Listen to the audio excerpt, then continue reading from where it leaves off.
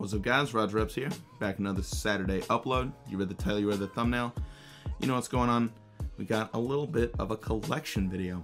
Now, re never really thought to make one of these videos, but I love watching other people's collection videos, so I figured I'd make one of my own, since I've amassed much more of a well-rounded collection as of late. Now, this video will be uploaded a couple weeks later, but this was made in December, so with that out of the way, let's just get into it. I'm to start off with the New Balances in my collection, and first from that, we've got the 2002R Protection Pack, or Retro Future. This is the original color, the Rain Cloud Gray, which is just a classic New Balance gray tone colorway.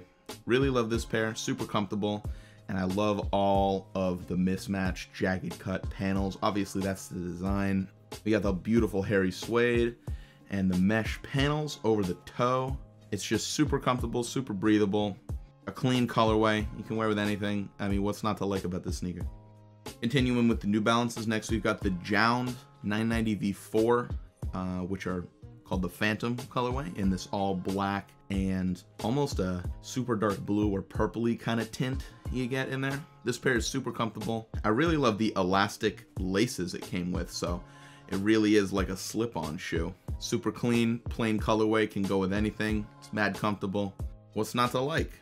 And then completing my New Balance collection, at least for now, is the Joe Freshgoods 2002R, which are the Conversations Amongst Us.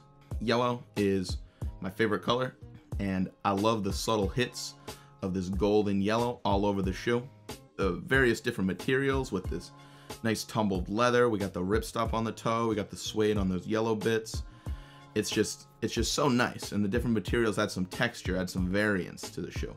And then of course, it's a 2002R, so it's it's mad comfortable. Joe Freshgoods killed it with this pair. He's killed it with all of his collaborations. I'm gonna be honest. I don't think there's been anything lower than an 8 out of 10 coming from Joe Freshgoods collaborations. So these are a solid pair. Moving on to another pair that's not really a sneaker, but everybody should have in their collection is the Salehe Bembury Crocs. I've got the purple urchin colorway, and these are definitely a favorite of mine. I, I just the design is so goofy it, it is quite literally Salehe Bembury's fingerprint. You can especially see it on the bottom here. I just love them. There's so many different colorways. You can get anything you want. And because it has the rubber here on the sole, it's much more durable than regular Crocs. So they'll last you much longer. As well as the heel strap that actually is adjustable with the Velcro. These are just the best form of a Croc that you could ask for. And they have this amazing, wacky design. One of my favorite sneakers in my collection, and it's not even a sneaker. Moving on to the Adidas that I have in my collection, we've got the 350 in the carbon colorway. My now fiance got me these as a birthday gift uh, with the infinity lace, so you don't got to worry about them coming untied. You can tighten them up because the lace is elasticized. It's a 350 in a clean black and white colorway. You can wear it anywhere. Continuing on with Adidas, we've got the 350 Mono Clay. These guys are a slight different variation on the 350, being made out of this plasticky kind of mesh material, which allows you to see the interior panel of the shoe, which just gives it this crazy design. I don't know what to call it, maybe the skeleton of the shoe. You can see through it. And I think it's super sick. There's a couple different colors of these. I got the these clay, this brownie kind of orange colorway, just because I wanted something a little loud. Don't wear these guys too often, but during the summer they make a reappearance. Moving on from 350s, we got 380s. With these, the pepper and also the evolved design from the 350s. I definitely prefer the 380s over the 350s. They're just more comfortable in every possible way. Really love these sneakers, and uh, any any pair of 380s deserve a spot in anybody's collection, definitely. Continuing with 380s, we've got the Onyx pair, which was one of my first ever sneakers in my collection. I think the design is super sick. Infinity lace, so it's really easy to slip on and adjust without having to worry about the laces coming untied. An everyday comfy pair, especially during the spring and summer. Moving on from 380s, we got 700s, starting out with these, the Ember and Flame. My now fiance got me these as well as a birthday gift. And as you can see from the close-ups, these are absolutely beat beyond belief. They are disgusting.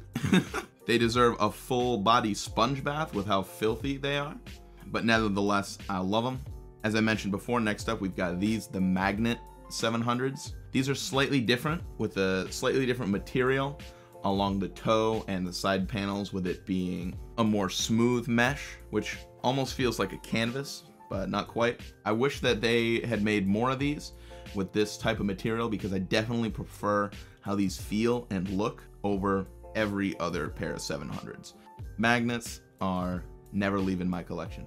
And now we have two of my favorite Adidas sneakers in my collection. Starting out with these, the Quantums. These I had to hunt for quite a while to find, but finally did.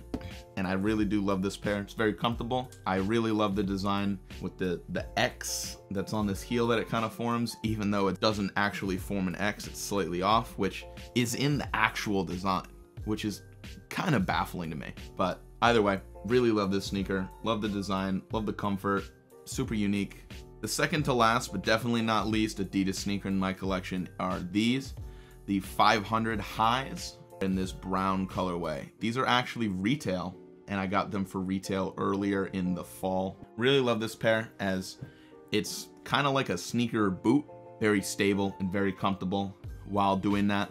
With the infinity lace, obviously you don't really have to tie them, you can just pull on it to tighten them up. And with the materials of the shoe being this neoprene padding, it's insanely comfortable and it, you really can just slip them on. A staple for winter are these, or the next sneaker up, the Adidas NMD S1 RYAT Boot. These are a collaboration with Pharrell and his Human Race brand. These are super sick. The design is out there. It's loud while this colorway is still muted because of the, all the varying textures and materials on here. I really love these. They're absurdly comfortable with the NMD S1 sole being super thick with boost. Honestly, on these, I don't need even need to put in my replacement insoles. They're already comfortable enough. These can be worn to trudge through a winter storm with no trouble at all. Moving on from Adidas, we'll get into the Nikes in my collection, starting off with the MF Doom Dunk Highs. These guys have eluded me for a while. I'm very happy to have them in my collection. As you saw from a recent video, I opened them up. Just got them very recently, and I'm very happy to have them.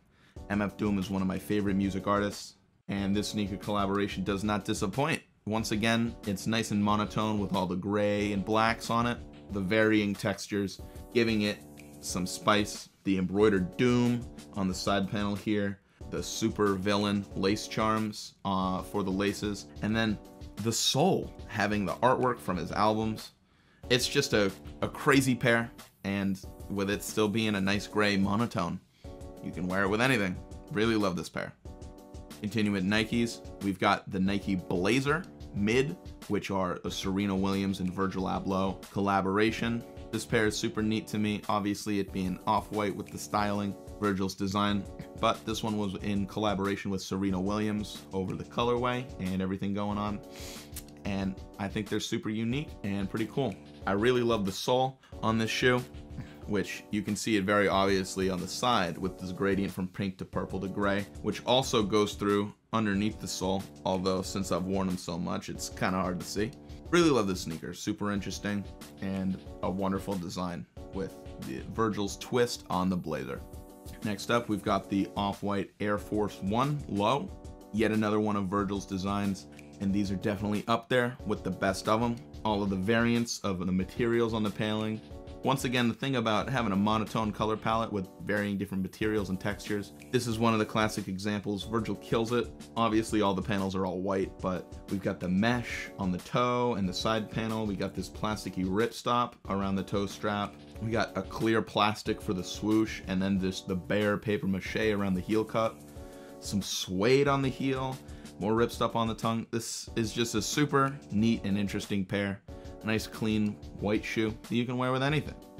Unless you're like me and have absolutely trashed them. Air Forces, classic sneaker, and Virgil's Twist does not disappoint. And continuing with Nikes, the last non-Jordan in my collection are these, the Sean Wotherspoon Air Max 97 ones. These are the second sneaker that I added to my collection and for good reason. Obviously, the Sean Wotherspoon Air Maxes are a classic and deserve a spot in anybody's sneaker collection. Got the Air Max 1 sole with the Max 97 upper. At least I don't believe has ever been done any other time. It, in Nike's releases. The corduroy material on the upper that rips away over time, I think it makes it look better. It ages like a fine wine, you know? And the vibrant colors, yet still being super wearable. It's it's an incredible thing when a shoe is this vibrant with color and yet I can wear it with anything. Wonderful sneaker that deserves a spot in everybody's collection, guaranteed.